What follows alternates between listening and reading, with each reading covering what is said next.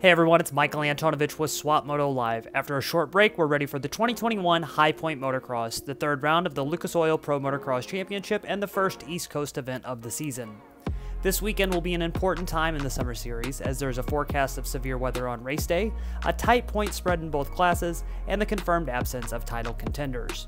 We'll go over the details and get ready for the action in this SML news break presented by Fly Racing. High Point has been a staple of the series for decades, but restrictions prevented it from being part of the Pro Motocross Tour in 2020. That meant Racer Productions got plenty of time to work on the Pennsylvania property, and this year's track will feature a handful of revamped features, including the return of the famed board turn. Unfortunately, some of those efforts might get washed away by rain predicted to begin on Friday night and stay in the area through the weekend. Current forecasts call for isolated storms and strong winds, with the heaviest expected to come in the middle of the day on Saturday. This is a common concern for Mount Morris though, and the track crew knows how to work the sticky clay into something raceable. If the weather does indeed hit, it will certainly have an impact on the results in both classes. Ken Roczen and Jett Lawrence come into the weekend with the points lead in their respective classes, and with that, both of their Team Honda HRC race bikes will be outfitted with the appropriate red number plates.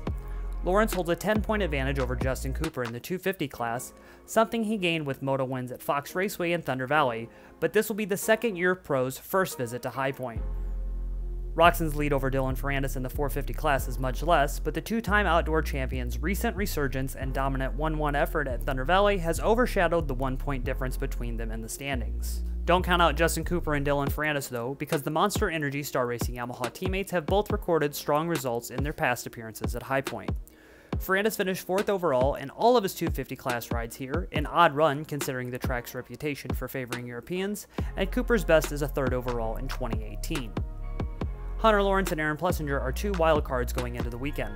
Lawrence has only been to High Point once, when the Team Honda HRC rider got the 251 moto win over Adam Cianciarulo in 2019. Plessinger, meanwhile, hails from nearby Ohio and has put in plenty of laps at the track over the years. And yes, the Monster Energy Star Racing Yamaha rider is known for his skill in rutted and sloppy conditions. One more rider to keep an eye on is Kailub Russell. Now healed up from a preseason crash that left him with a broken jaw, the eight time GNCC champion will begin his summer with the Red Bull KTM team in the 250 class at High Point. That leads us to the injury report for round 3, which now includes Zach Osborne, Jeremy Martin, Nate Thrasher, and Michael Mosiman.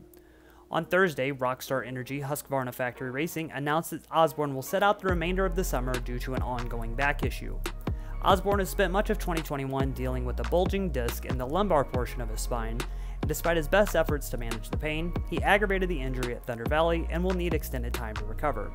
Unfortunately, this ends his 450 MX title defense, but he will return to the factory Husky team in 2022. Jeremy Martin's hard slam in 250 Moto 2 at Thunder Valley took a toll on the Monster Energy Star Racing Yamaha rider's already injured shoulder and wrist. The two time champion was determined to heal up during the break between races and to get back on the starting line at High Point, only to have another setback rule him out for round 3. Monster Energy Star Racing Yamaha will also be without Nate Thrasher at High Point. The rookie rider underwent, quote, a minor surgery and is hopeful to be back at Redbud in two weeks. Troy Lee Designs Red Bull Gas Gas Factory Racing's Michael Mosiman is out for High Point as well, the result of a recent practice crash, but he could be back as soon as round 5 at Redbud. That's it for this SML news break. We'd like to extend our thoughts and sympathies to the friends and family of Alex Harville, who sadly passed away while preparing for a world record attempt on Thursday. An accomplished distance jumper, the 28 year old husband and father of two was best known for his 297 foot dirt to dirt launch in 2013.